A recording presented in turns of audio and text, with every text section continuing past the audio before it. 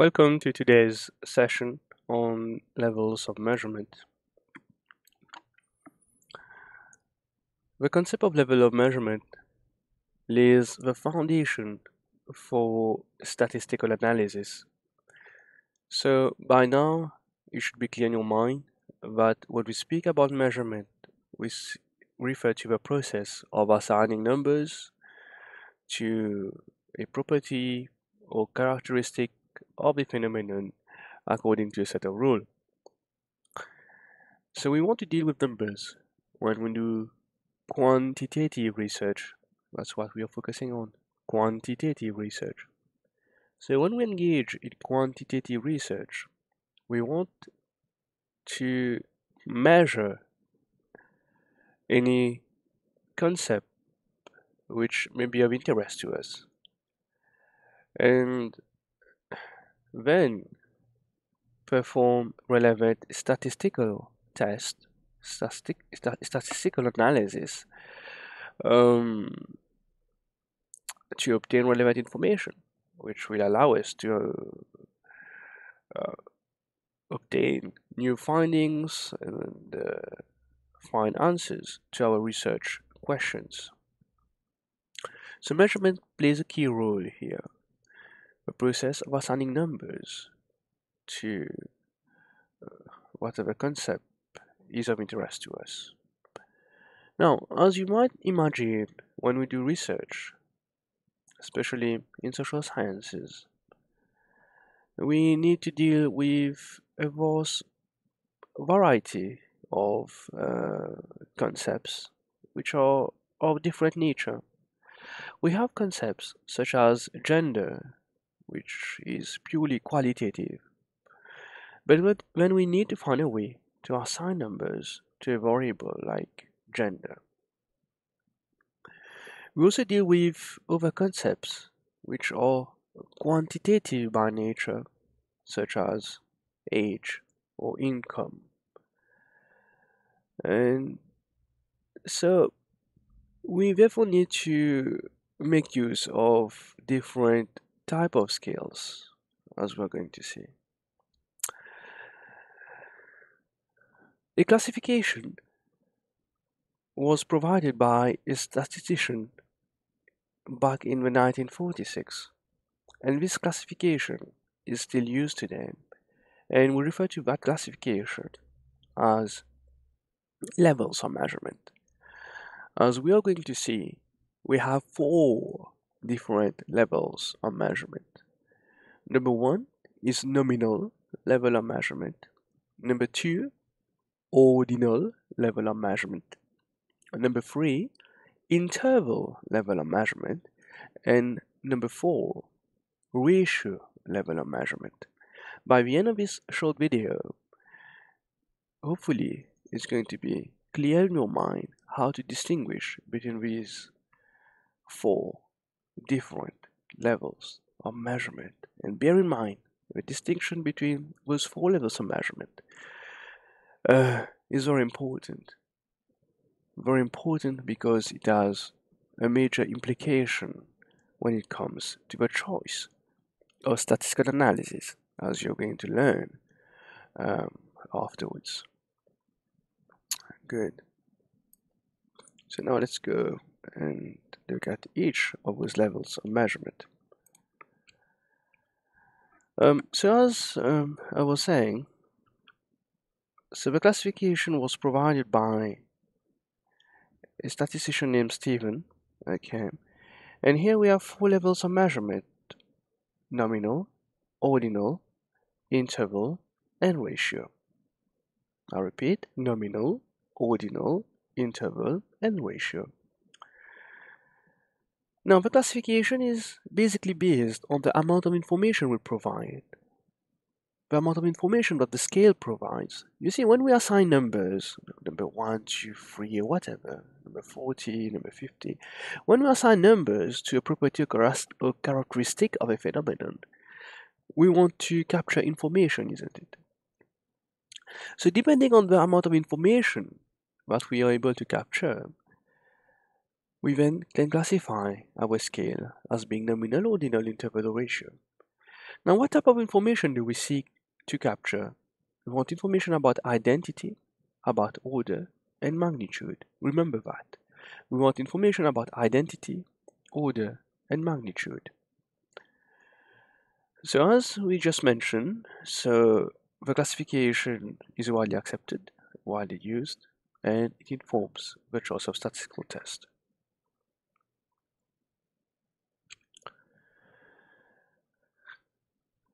Now, just as a quick uh, reminder, when speak about measurement scale, we can first categorize measurement scale as being a non-numeric scale or a numeric scale. Okay, so you have measurement scales which by default are non-numeric. We also refer to those as categorical scales. And then we have scales which are by default numeric. A typical example here will be age, where you have basically an actual number to present age. A typical example of a categorical scale or non-numeric scale would be gender, where I don't get a number here, but instead I can only classify my respondents into categories, and then I can assign numbers to the categories, obviously. Good. Now, if my scale is non-numeric, if the scale is non-numeric, in terms of level of measurement, it's going to be either nominal or ordinal. The most basic one would be nominal. Actually, that's the lowest scale, lowest level if you want. And ordinal will be the second one, where we capture a little bit more information. So it's a higher level of measurement. Now, if a scale is numeric, that's going to be either interval or ratio. So that's the first thing to understand. A scale can either be non-numeric, where you don't actually have a number which gives you a magnitude, a quantity of a property being measured, but the numbers, for example, here if I assign numbers, are going to represent categories. For one numeric scale, I have numbers which represent a magnitude, a quantity of a property, of a characteristic being measured, whatever it is, age or whatever else. Okay, so here we have our four levels of measurement, and as you, you will see here, we say that's the lowest amount of information being captured. That's the highest amount of information being captured. Uh, so the lowest uh, level of measurement would be a nominal scale a little bit higher will be nominal, then we have interval, and then we have ratio, which is the highest level of measurement. So obviously, if you had the choice, you'd always um, choose to have a higher level of measurement. But for some variables, it's impossible to uh, use higher levels of measurement, whether it's ratio, interval, or even ordinal sometimes. If we take gender, it's impossible to make use of any of those. You can only settle for nominal scale as we're going to see in a while. Good. So let's start with a nominal scale. Um, so the first level of measurement, the nominal scale. So a nominal scale is the most basic level of measurement. Alright. Remember we said we have four we have three uh, information, three types of information if you want, we can capture using a scale, identity, order, and magnitude. Magnitude, or if you want, you can call that quantity. For nominal, the only information captured is identity. So the numbers definitely do not represent a magnitude. In any case, it's a non-numeric scale here. Okay, so the numbers do not represent a magnitude or quantity. It only provides us information about identity. That's the only information you have. So that's the lowest level of measurement. The only thing which is important here, remember, measurement is about assigning numbers to a property characteristic according to a set of rule rules. Then the only rule we have here is that the numbers should be mutually exclusive. They shouldn't be the same, okay so you can have different categories depending on variable you're measuring category a b c. You assign numbers the most the important thing is that you have different numbers here. It could be one two three. It could instead be two three one. It doesn't matter the order doesn't matter. It could be 10 11 and 15 could be anything provided the numbers are not the same. So that's what we mean here. So if you're using a nominal scale the only rule is that the numbers are mutually exclusive. You don't use the same numbers, and the numbers allow you to differentiate between the categories of responses. That's it. That's what a nominal scale is about. Some example here, we took gender. So let's say gender, we have two categories. We can assign number one and two. It could be number two and one. It could be three, four, whatever. The most important thing here is that the numbers are different. Here, I can assign number one, two, three, four. I could assign number three, two, one, four. Doesn't matter. You see what I mean? Could be any other number. Numbers only allow us to differentiate between the categories. But well, we like to keep things simple, isn't it? Why are we going to use number 100, 200, or whatever? We use 1, 2, 3, 4, 5, 6, 0, 1, things like that. Okay, here for example, I can use, use 0, 1. We keep it simple, but remember, it could be any number provided the numbers are different for each category. Okay, same thing here, private, public, or whatever. Okay, so let's say uh, I'm doing a survey across organizations and then I'm distinguishing between private and public. So I classify organizations as public uh, or private. So I can assign the one, to for instance, here. As simple as that. Good. So that's nominal scale. Now we move to the next uh, level of measurement, and that's ordinal. Okay, and that's second here. Still non-numerical, or what we call categorical, but it's a little bit higher in terms of allowing us to capture more information. So still, as we said, the numbers won't represent a magnitude. We're still dealing here with a non-numerical scale. But here we have another piece of information. Remember, we had we have identity, order, and magnitude. So normally those are the three Uh, different kinds of information that our scale can provide us with. So for ordinal, the numbers allow us to identify the category, and as we will see, it also provides us information about the order. So indicate identity and order. Now, the order is based on the sizes, degrees of the different categories. Right. One thing to note here is that you can't find differences between the values, however. Mathematical operations are not possible between the values and that's logical. Now let's take an example here. So let's take that typical example, educational qualification. Okay, so let's say I, I have here five levels, uh, five categories of educational qualification.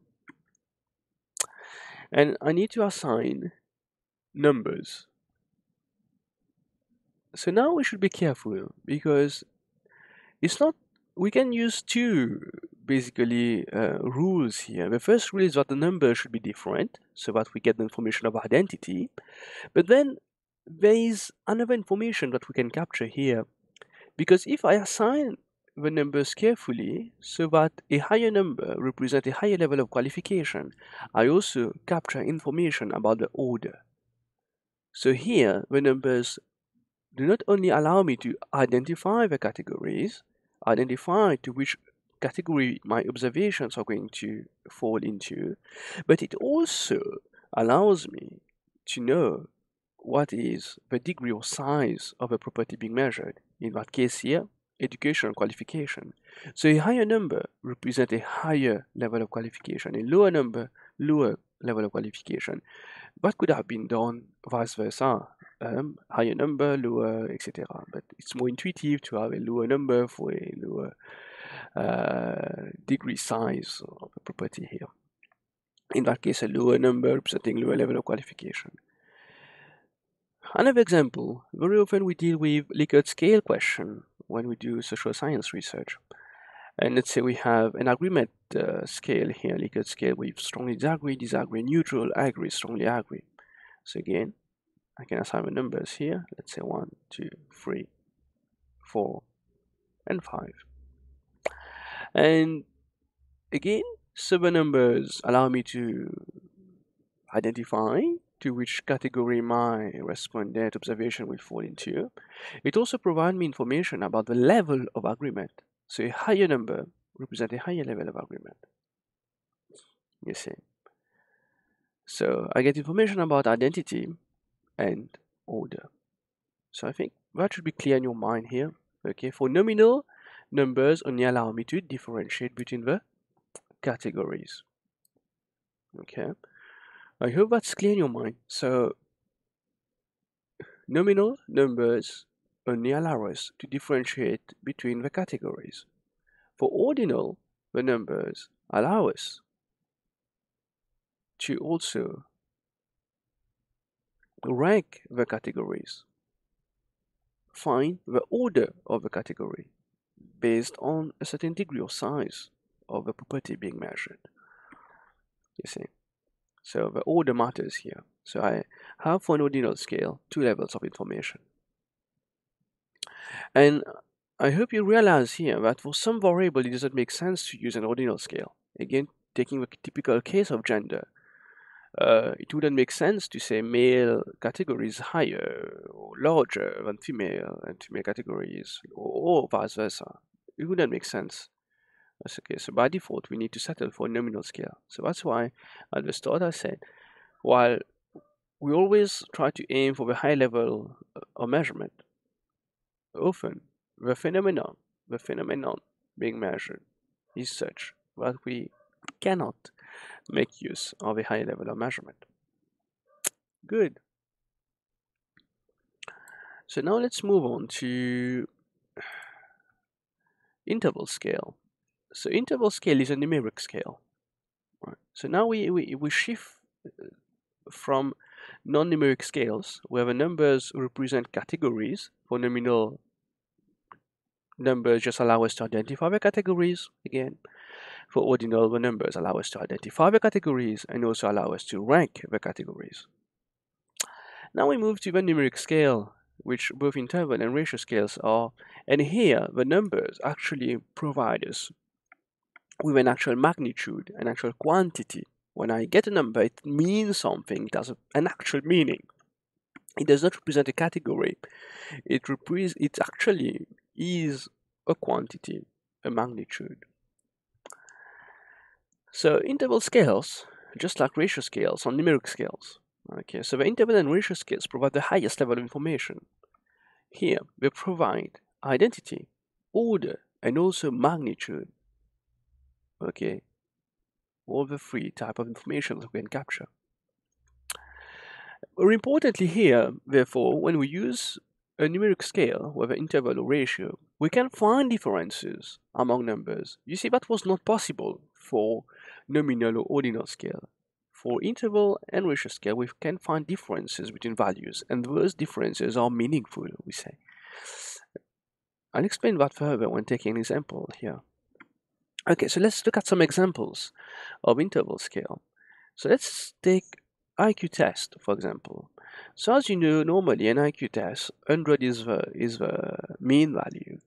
And um, normally an IQ score will vary from something like around 70 to around 130-ish. It could be more, right? You can go a little bit less or a little bit more. You have uh, extreme geniuses. You have uh, then those are quite poor in regards to IQ as well. But on average, it's always 100. Okay.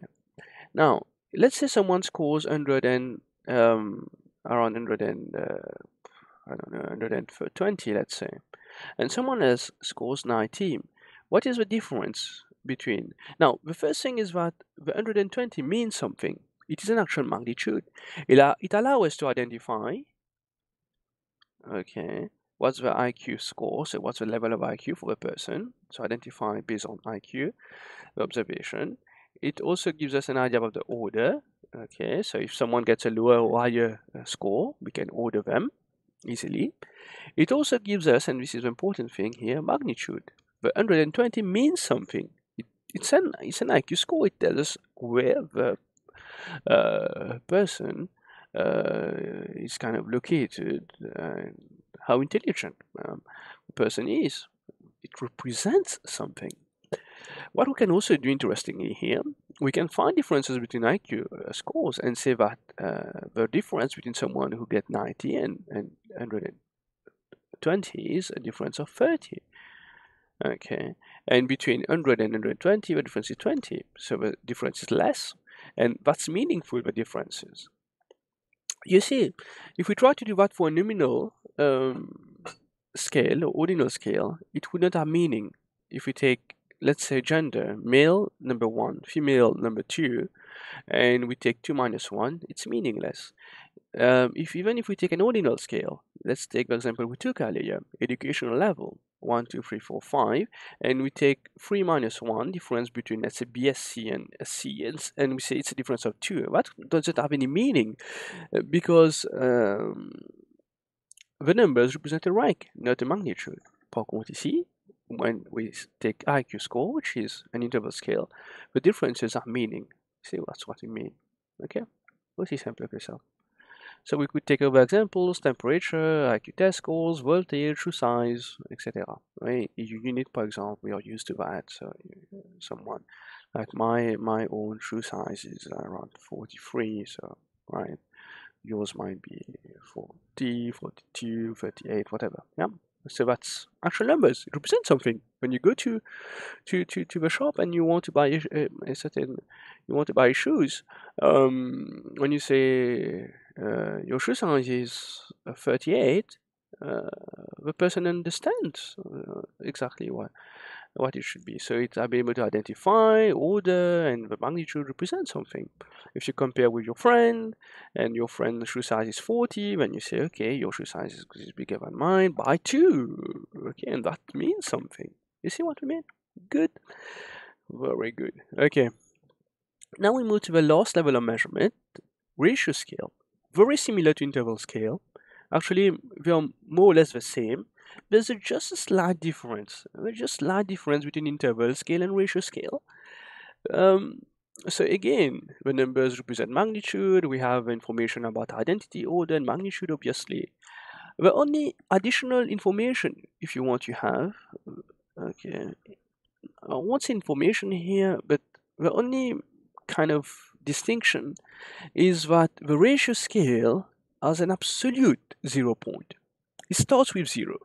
C'est pas nécessairement le cas for interval scale. You see, intelligence, it does not have an absolute zero point. Temperature, it does not have an absolute zero point. Uh, let's take, take examples here again. Zero degrees Celsius exists. You can even have minus 10 degrees Celsius on the temperature scale. IQ test does it start with zero as such. Voltage does it start with zero. Shoe size does it start with zero. Par contre, if we take variables such as height, weight, income, it always starts with zero. So zero means zero. And that's why we can speak about ratios. Somebody is two times taller than someone else. Somebody is two times lighter or heavier than someone else, or three times whatever. Okay, so it starts with zero, absolute zero point. That's what you mean here. Okay, so you have a starting point of zero, and the zero is an absolute zero point. Good then. Okay, so we're almost done. So a quick summary, guys. Um, so by now I think that should be clear enough. Uh, it does take some thinking and work with the examples so that um, you really get to understand that and with um, levels of measurement are very clear in your mind. So take time to work through the examples. Um, we're going to engage in some activities as well to make sure that you understand that clearly. But I can't emphasize enough on the importance of um, understanding levels of measurement well. Uh, because again, it lays a foundation for quantitative data analysis. So just a quick summary now. Um, just a quick summary. Um, so as we said, nominal scale, that's the lowest level, only provide us information about identity. Ordinal scale, provide us information about identity and order. Okay, and you will recall that those two are um, non-numerical scale. So the principle is assigning numbers to categories because you can't actually measure them quantitatively. So you categorize the responses and then, and then assign numbers to the categories. That's the way it works. Par contre, for interval and ratio, here we deal with numerical scale. So numbers provide us with magnitude. So for nominal, it's only identity. For ordinal, you hit identity and order. Contre, interval and ratio is the three. And the distinction between ratio and interval, as we said, is that for ratio scale, you have a, have a zero starting point. Um, other than that, those two are very similar. Um, I hope um, it's been very clear in your mind. So I've got some readings for you. I don't, I don't, expect you to go through all the readings, but if you really want to, you might go and look for those um, source um, materials um, regarding levels of measurement. The most important thing is that you understand that clearly. Okay, so that's good. Okay, so we are done with our short video on levels of measurement. Um, please take time to go through the video, through the lecture notes, and the best way for you to make sure that you, under, you understood uh, everything is to work with examples. Take the examples again, think about it clearly, and if you have any doubt in your mind, don't hesitate to uh, to ask uh, questions, whether on the online forums or during our lectures. Don't hesitate. Okay, so on this note, uh, wish you good reading and um, enriching um, uh, learning experience overall. Okay, see you in the next videos. Cheers, bye bye.